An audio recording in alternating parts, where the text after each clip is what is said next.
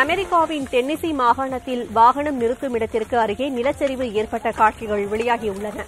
அமெரிக்காவின் சில மாகாணங்களில் கடந்த வாரம் பெய்த மழையால் பல இடங்களில் மழைநீர் தேங்கியதோடு நிலச்சரிவுகள் ஏற்பட்டன. இந்நிலையில் டென்னிசி உள்ளிட்ட சட்லிங்பர்க் பகுதியில் கார் நிறுத்துமிடத்திற்கு அருகே இருந்த மலைப்பகுதியில் நிலச்சரிவு ஏற்பட்டுள்ளது. நிலச்சரிவு ஏற்பட்ட போது அங்கிருந்த இளைஞர்கள் சிலர் அந்த காட்சிகளை படம் பிடித்து தற்போது வெளியிட்டுள்ளனர். இதில் யாருக்கும் எந்த பாதிப்பும் ஏற்படவில்லை என தெரிவிக்கப்பட்டுள்ளது.